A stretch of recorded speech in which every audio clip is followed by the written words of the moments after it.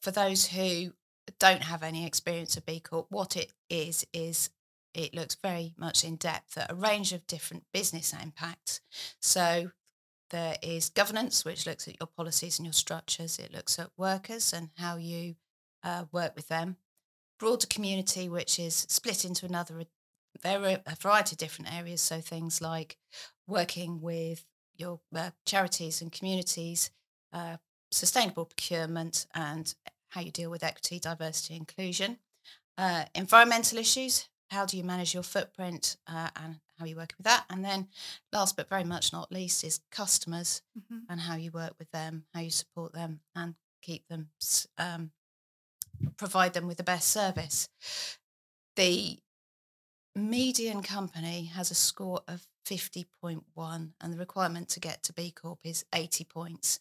And that's no small challenge, is it, really? No, it's not. No, I mean, how was okay. your experience of that? Because there's a whole piece in terms of even working out how to go about constructing that, isn't there?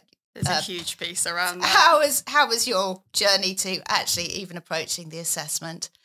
So we were really fortunate to have Verity Slater um, partner and board member who is a real force of nature, mm. um, was he able to sort of cement our approach to the BIA, um, the assessment framework that you yeah. need to um, take part in to, to, to certify. Um, and yes, it's challenging. Um, it's all about having baseline data. Yeah. and as a law firm, we had quite a lot of that data, which was fantastic. And we've done things like Times um, 100 top companies to work for for about seven consecutive yeah. years. And we had our uh, employee ownership structure, which gave us lots of content for, for workers and engagement. Um, but but the reality of some of this, and and we I've seen it on some of the programs that we've supported, such as the B23 in Cornwall, that's doing that alongside the day job. Yes. Um, and so you'll be doing the impact assessment alongside, you know, everything else that you're managing within your business.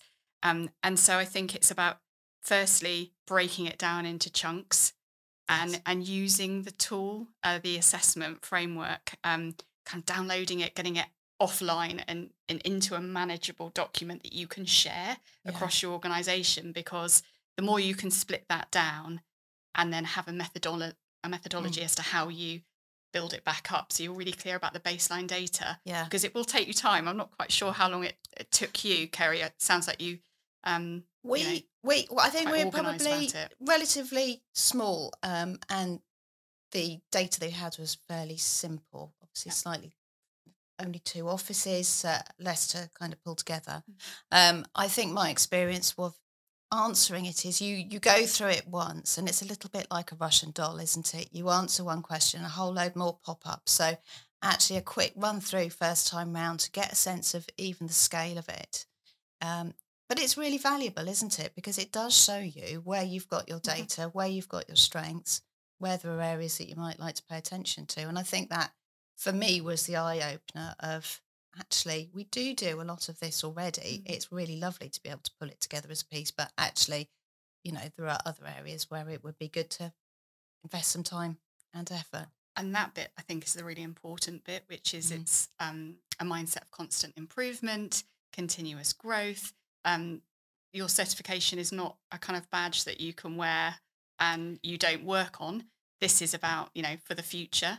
So, mm-hmm. you know, being able to sort of bookmark areas that you think, well, we need to plan. Even the fact that you've established you need a plan is a really good step yeah. and will be given credit as part of the process.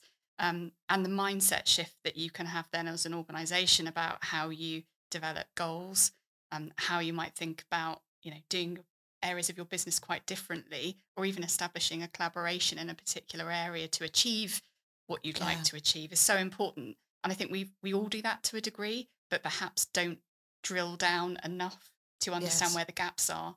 And I think that's really valuable. And I'd encourage most businesses just go to go on and download the assessment tool yeah. and the evaluation tool because that's so useful. Just go and look. Just go and have a look because yeah. it, it is, as you say, it's really holistic. It covers all the main areas that as businesses we're focusing on as part of our strategy planning.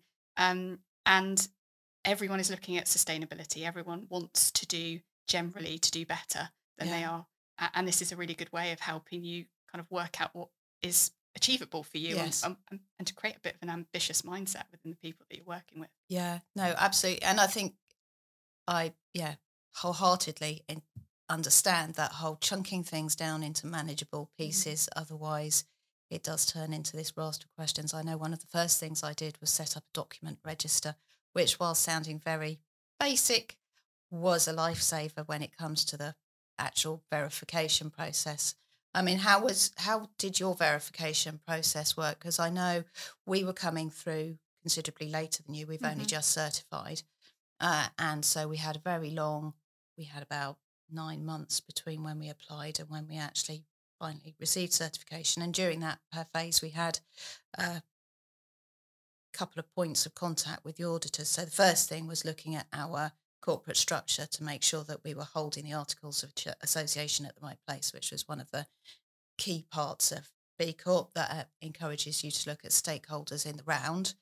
Uh, and so there was that short piece, and then there was a number of months before we actually started speaking to the assessors to Mm. talk through our documents. So it was, you do have to keep an eye on how you're evidencing things as you go, don't you? You do because you forget because it's Yes. it's quite a substantial document. So yeah, an index, as you just said, and a documents list, I think is really key. Um, but for us, it was a bit of a longer journey. It was about fifteen to eighteen months Okay. um, because of the nature of the work we do and the clients we work with. We we had to go through the controversial industries review panel, um, Okay. so that took a bit more time. They only meet, I think, once every six months. So we we had um, we had a, a little bit more um, work to do as part of that process. Um, but yeah, as you say, it, it really comes down to evidence. And actually, that's quite a good discipline to have within the business about uh, not only saying you're going to do something, but living out those values yeah. in, in how you communicate and how you then, you know, share that with others. And that's had, I think, huge knock on implications for our kind of first uh, year post certification target. So we certified on the 22nd of December last year. Mm. Um, and since then, we've kind of just published our first impact report, which is really exciting. Yeah. And that's a really good opportunity as well to sort of celebrate what you're doing and identify gaps for the next 12 Yeah. months that you're going to sort of work on. Um, so that constant goal setting and evaluation Yeah. um, is is key. Um, but yeah, uh, you keeping that BIA up to date even after certification is really Yeah. important. Just thinking about you know what's the next stage in that in that journey, so that when you do come on to recertify, you're you're already building. Yeah. Um, Your building that- portfolio for building that time. portfolio to make Yeah. it easier for, for when you next need to Yeah. submit.